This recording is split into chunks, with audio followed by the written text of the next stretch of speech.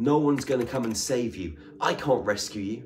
Jesus isn't coming back to rescue you. No extraterrestrial is going to come and pick you up in their spacecraft anytime soon because we live in a world of sovereignty and freedom. We just don't realize it because we've bought into our own kind of prison system. So, immortality, should we die? Is it something that's written into our own genetic code? Is it part of our own mathematics? Is there a mathematical equation inside our physical anatomy that brings us to that point where the physical body decays and the soul goes on its merry way? Continuing the journey as energy. If you go back to when we had our original templates, we lived for a long time. We're supposed to choose when we want to exit these vehicles, these human avatars. But the gene code has been played around with. Everywhere you look in this human world, there are codes stamped into reality. I mean, I was at Amsterdam airport literally a week and a half ago, coming home from a plant medicine retreat. And I went into Starbucks, bought a bottle of water. I came back out and I looked at this little, like a relaxation place, sort of across the way. And I've been to this airport a gazillion times and I've seen this relaxation place a gazillion times. And they they have like um, massage beds, you can sort of lie on it, they massage. They've got various different therapies in there. Now, when I looked in there this time, they had this new machine. It was like this futuristic machine. It was like a, a capsule, a long capsule that you lie in with one seat and you're kind of relaxed looking up. And guess what they had on the ceiling? They had the false tree of life. The false tree of life code with the, the 10 strand template, which stops and halts and puts a ceiling on our own DNA template when we're trying to elevate and expand and unlock the information from within our computer code. If you look at the Kabbalah and things like that, they've got this, they use this false tree of life symbol. The, the true tree of life is the 12 strand template, which is the original Kathara grid, which is the, the frequency the, of the rotation out from the zero point at a 45 degree angle, which is the true crystalline code, the New Earth mathematics, which is the New Earth mathematics that we're moving through now, but it's the original template, the original mathematics. It's a remembrance that's taking place on planet Earth, not actually something new, even though people call them the New Earth codes even though we are rebirthing a new earth, it's an ancient earth that we're bringing back to reality. Because we had this original codex at one point, we had this original mathematical template. But seeing this in the Amsterdam airport was like, whoa, they're, they're bringing it in everywhere now. You know, it's in full plain sight.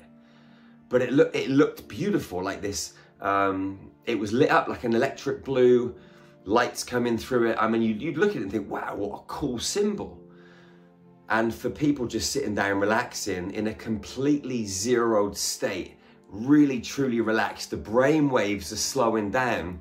So that false template is being coded into their architecture. And it's changing their mathematics or just resyncing their mathematics into this false code. And this is why humans struggle so much because we're running this false mathematical code. And we have been for a long time a lot of nature's running this false mathematical code. Our hmm. human bodies, we run this false mathematical code. We're supposed to be a lot bigger. We have to re-engineer our inner structure. And as we re-engineer our inner structure, our inner template, we start to recode the universe at large. As above, so below, as below, as above, so within, so without. Everything's connected. We've got stars and planets and galaxies inside every cell of our body, even though they're out there somewhere, up in space. But outer space is no different from inner space. They're just the same. And that's a lot for some people to get their head around, but this is just the truth. And I don't expect you to believe anything that I'm telling you. Go into your heart, meditate on it, feel it, dive into this information, and you will get to know the truth yourself because all the answers lie within your heart. Just don't try and figure them out up here because you're going to go around and around in circles. You've got to move into that zero point, into that silence to know the truth. and to feel and to see beyond the illusion. But we as humans, when we activate our original 12 strand template, which actually is not an original 12 strand template, it's a 13 strand template. Because the 12 pieces of the puzzle make up the whole, which makes the 13th piece, which brings the masculine and feminine into wholeness. 13 is the magical number. And as children, we've been told to stay away from, from 13. 13 is unlucky. Friday the 13th is dangerous. It's like you're supposed to get your hair cut on a Friday. If you want to get your nails cut, your toenails, your fingernails, get them cut on a Friday. It helps with the growth. It's amazing. This is ancient knowledge. This is mystery school stuff. But in a lot of cultures, they tell you not to cut your toenails on a Friday. Don't cut your toenails on a Friday, it's bad luck. The truth is everywhere. But we've been blindsided and railroaded. We are immortal beings. When we lived on the planet Tara, we were angelic humanoids with pineal glands four or five times larger. We could bilocate in our Merkaba fields, telekinesis, telepathy, healing. At distance, all of these things were just second nature, easy peasy but we've lost our way. If you go all the way back to the Garden of Eden, Adam and Eve were supposed to procreate and produce more high frequency beings before they procreated with the local indigenous race. They were supposed to procreate and get to around a million souls in human bodies or in high frequency avatar bodies with a 12 strand activated template before they went out and procreated with the humans of the time, which were a, lesser of a race. The reason Adam and Eve went into the Garden of Eden was to restructure the template that had been messed around with. But Adam and Eve got tempted. People say they got tempted with the apple. I mean, look at the Apple iPhone, the bite out of the apple. This is all symbolic. The planetary prince at the time tempted Adam and Eve to procreate with the local indigenous races before getting to a million purebred souls with violet blood, with plasma for blood. This red iron core that we have coursing through our veins at the moment, this is not where it's at. High frequency, 12 strand activated template beings have this violet blood, this plasma blood. And if you go into the Garden of Eden quantumly, and there's ancient mystery school teachings that show you how to do this, we actually are launching a new teaching in April 2024 with these, with these teachings to help people reactivate this original template in such a succinct fashion. Because there is a, a mathematical formula to this. Oxygen in the blood is another important thing. But just coming back to this Adam and Eve thing for a moment, the planetary prince tempted them into procreating and it was too early. And there wasn't enough force within the human gene pool to restructure the, the restructure and get to the original template because the original gene code had been, been played around with by malevolent beings that had come to planet Earth. And so these Andromedan beings that we call Adam and Eve, they were extraterrestrials with these large bodies, these electric blue and diamond light body fields. They had halos around their heads. These beings, Adam and Eve, were supersonic, high frequency, powerful beyond measure, just like we were when we lived on the planet Tara. But they got tempted. Because when you're here in this third dimensional reality, temptation's everywhere. And it's in our face with the iPhone Apple, the temptation the bite that they took from the apple, the chunk they took from the apple. And that chunk kept humanity enslaved. And that is why the iPhone is a cell phone, because you're in your prison cell, engaged in it daily. But it's you that's keeping yourself in your own prison cell. That's the magic and the beauty and the matrix and the game that these beings have constructed. It's an invisible prison. And the amazing thing is, it's we as human beings that keep ourselves in prison. And we're the prison guards. If someone steps out of line within their community, within their family, within their social environment, human beings are the first one to point the finger. Like crabs, pulling the other crabs back into the bucket to keep them in order so they don't escape. Because when one human being escapes and raises their frequency, it creates a pathway for others. But at the same time, what it does is it disrupts the identity of the human beings that are in the environment with that human being that climbed out of the bucket. And when the identity gets broken down, it causes pain. So the ego defends that identity at all costs. The darker side of the human defends that identity at all costs because dark and light are inside every single one of us. True masters know that and alchemize both light and dark into the zero point in the heart space. But most human beings are either in the dark or in the light, and they're unbalanced, and you're never going to find your true power like that. But we are immortal beings, and we have the potential to recode our own internal cellular structure which is running off a bi-wave polarity for most human beings, the Vesica Pisces. Energy shuttles backwards and forwards in the Vesica Pisces. It has nowhere to go. So we get old and we die. We decay. What we have to do is to move from a bi-wave model to a tri-wave model where a third cellular piece comes in, into place, a third sphere. And that third sphere enables the energy to flow around the three spheres. So it doesn't shuttle backwards and forwards it actually circulates. And this is how we bring back longevity. This is how we bring back immortality. A key component to this is oxygen. We have to oxygenate our body. When we masturbate, when we have sex, and a man orgasms and ejaculates, and that energy shoots out through the crown, and the seed shoots out in the semen that seed is lost. What happens when you know how to work your body properly through breath work, then what you can do, that seed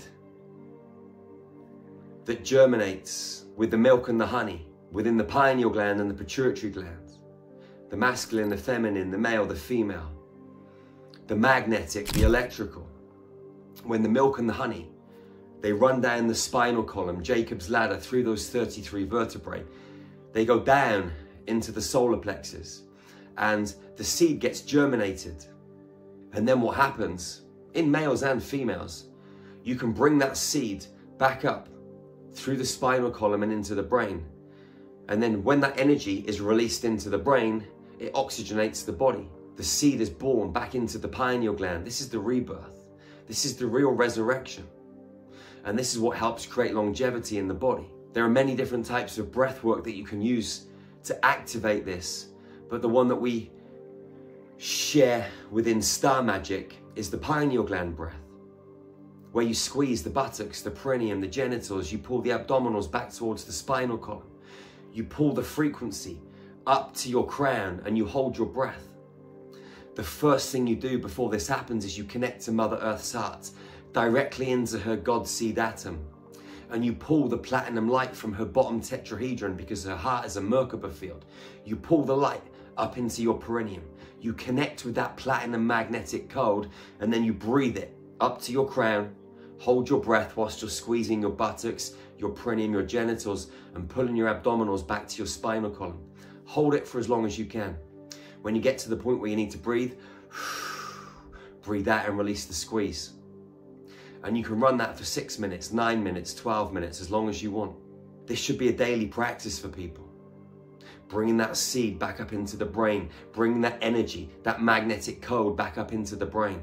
When you start to work the breath properly and you create a tri-wave cellular structure by bringing an electric pink light down from Sirius into a Merkaba field spinning around your pineal gland, and you bring an electric green and electric platinum light from Mother Earth's Merkaba up into your heart, up into your solar plexus, and you start to run these three Merkaba fields, which is something I go into deep detail in within my new book, Activate Your Superhuman Potential, then you can start to change the biwave Vesica Pisces model to a tri-wave model, and you can reverse the aging process. This information is mystery school teaching information. This is something that everybody once knew, but they've wiped it out of all of our books. They've scrubbed it from everything that we read because they do not want us to be empowered.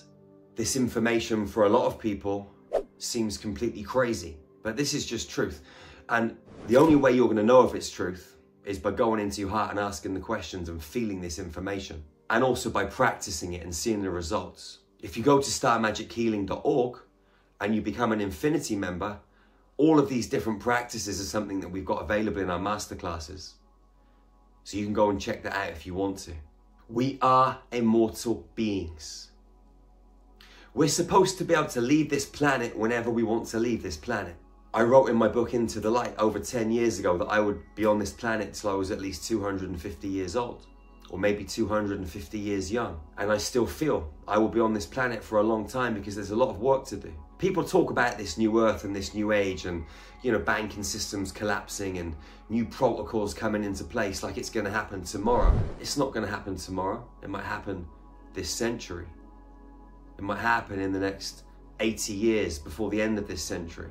But that's a blip in the vast ocean of time when you look at this from a galactic perspective. We as humans are young beings. You know, living to 60, 70, 80, 90, 100, we're still babies.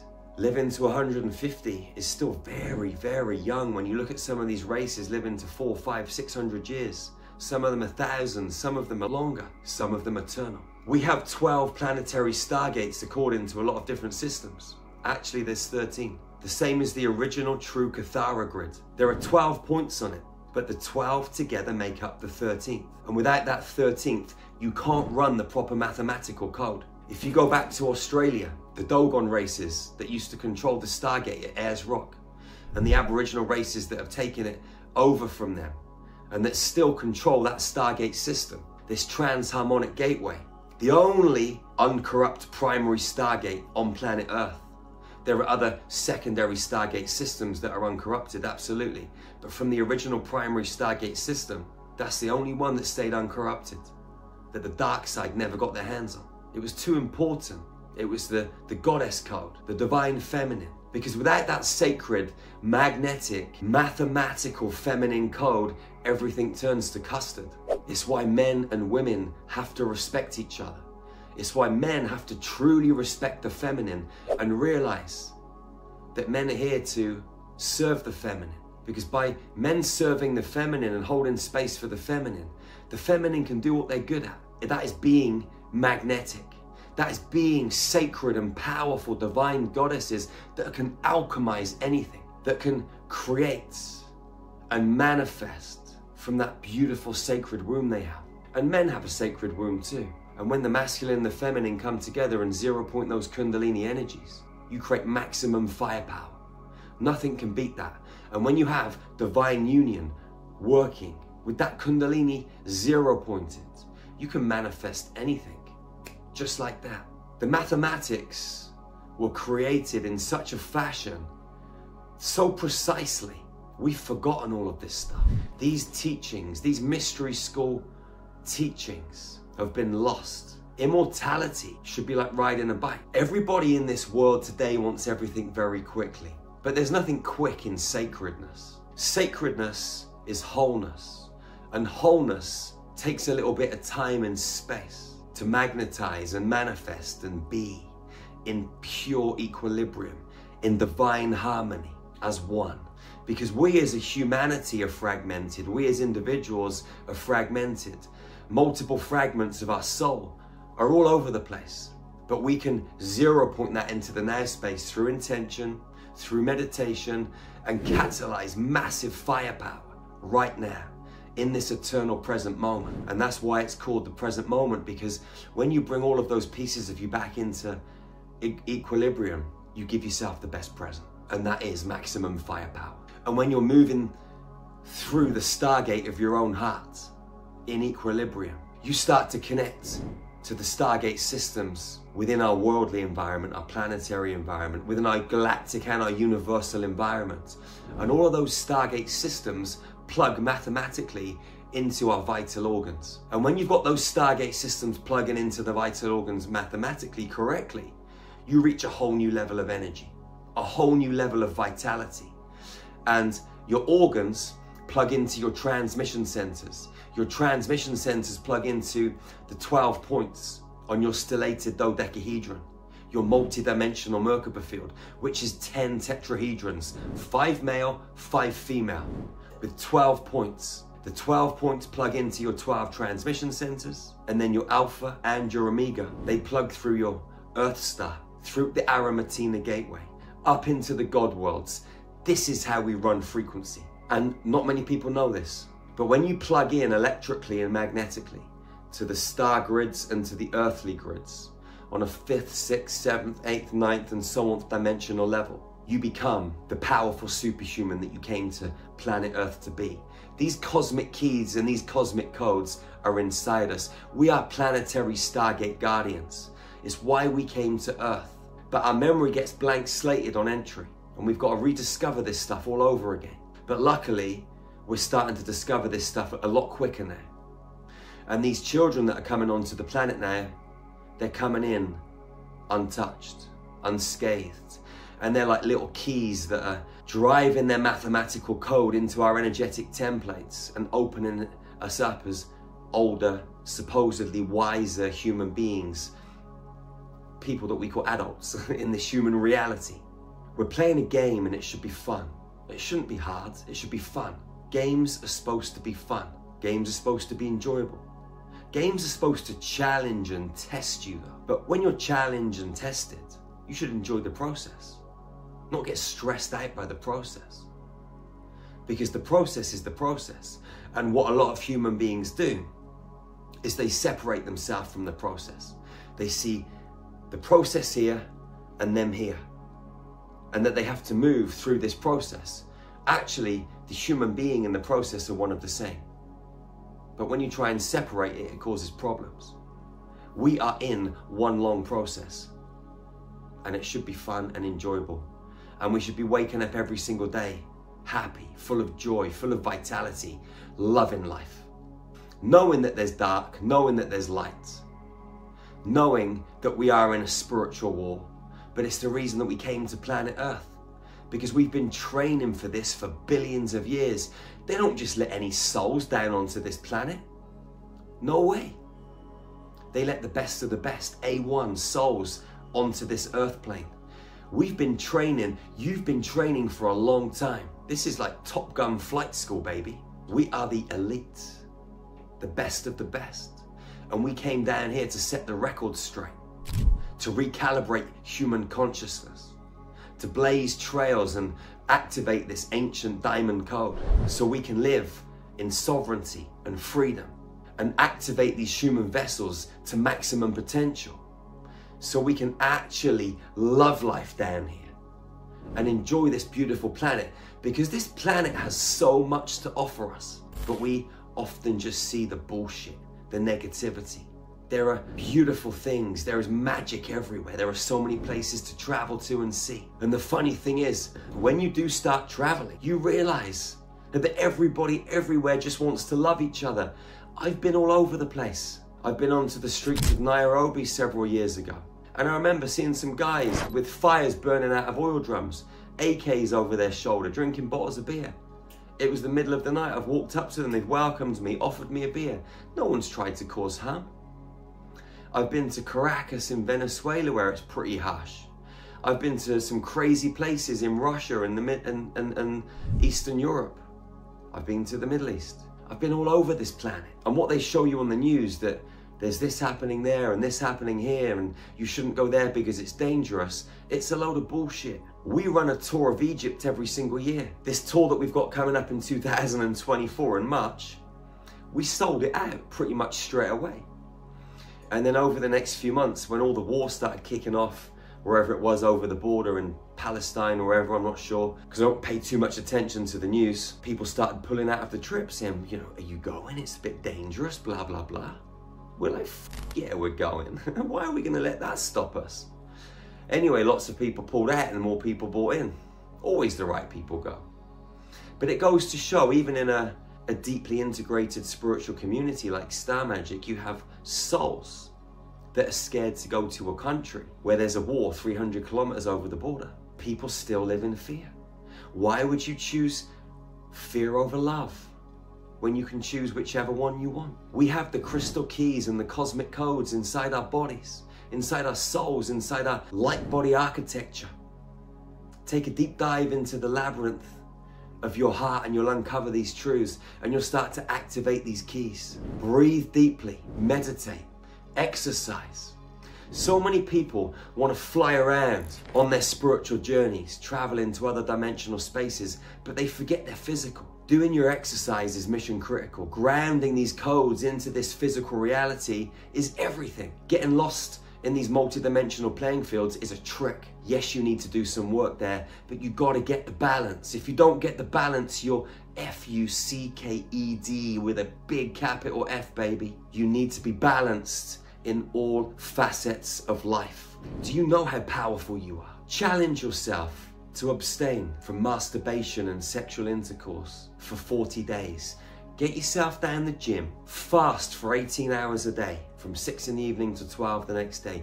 Eat clean foods, hydrate yourself well, good clean water. Do some Qigong, get yourself down in the gym. Start incorporating these basic ways of being in this human world into your life and I guarantee you, your energy is going to change, and all of those crystalline keys and those cosmic keys inside of you will naturally start to activate. Your DNA template will start to switch on, and you'll become a more empowered human. The thing is this no one's going to come and save you. I can't rescue you. Jesus isn't coming back to rescue you.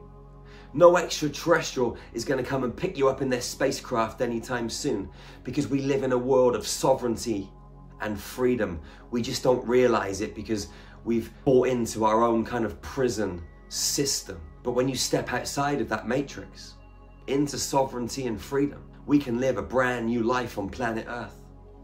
We can exercise our divine rights to live, to love, to laugh, to travel, to do whatever we want to do. As long as we don't cause harm or steal from another human being. As long as every interaction is more life to all and less to none, then we've cracked it. The sacred code, baby. You are amazing. I am amazing. We together are unstoppable. Strength in numbers. We are humanity. Forget about black, forget about white. There are still so many groups out there on this planet that are dividing things, even in this spiritual field. Black communities, white communities, Indian communities when are these souls going to realize that any kind of division is separation? And the only way we're going to come together is by being one. Unifying unity, baby. One love, one heart, one human family. One love, one heart, one galactic family. No separation. No black, no white, no rich, no poor, no yellow, no brown, no fat, no thin, no discrimination, no judgment, no classes, just pure acceptance of one another realizing that all of us as human beings have sacred pieces of code. We're like a giant jigsaw puzzle. And every single human has a piece of code that is congruent to that jigsaw puzzle.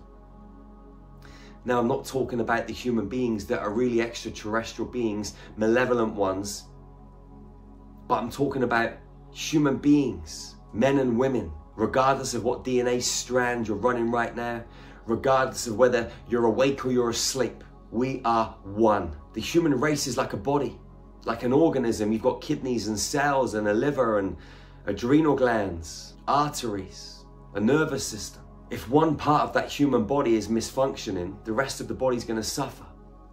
So we need to remember how to love each other now. Not tomorrow, but now. When are you going to wake up and smell the coffee? When are you going to wake up and open your big friggin' heart, man, and shine that diamond light and live from that diamond spark and walk inside your diamond flame with love, compassion, kindness, tenderness, but with a fierce and ferocious undertone, like a lion and a lioness protecting their cubs in the jungle. Because it's okay to be fierce and ferocious. It's okay to be kind, soft, and gentle. But you got to bring it in and balance it because women are becoming men and men are becoming women.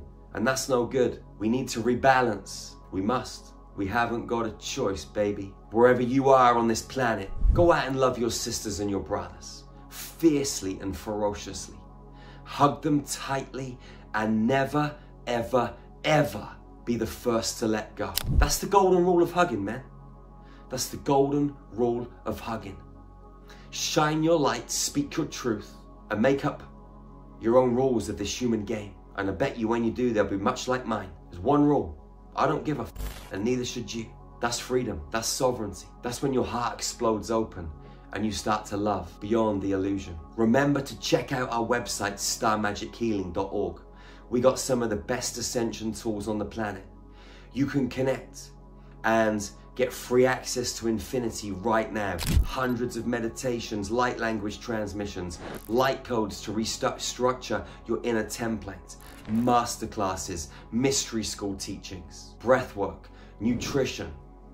There's private telegram groups so you can connect with souls on the same mission as you. With big, great big open hearts and activated third eyes, you can work together as a family, as a tribe. You never know, you might find someone in your backyard. Reconnect with new sisters, new brothers, which are really ancient and old, that you know from the space, that you know from the stars. If you want to train in energy healing, check out Facilitator Training Level 1 at starmagichealing.org. Also, check out the healing centers that we're building in Transylvania and Romania. What we're doing works. And we know if we're going to create a better world, we got to come together. Separation is the order of the other side. We need to create balance in this world, beautiful soul.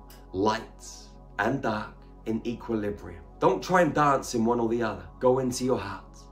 Welcome your shadow side to the surface. Alchemize it, integrate it, draw the power from both sides of the force, and be the master of both. Walk the middle road. I love you as my sister, as my brother. Join us at starmagichealing.org. And I'll see you again real soon, beautiful soul. Go and activate those sacred keys.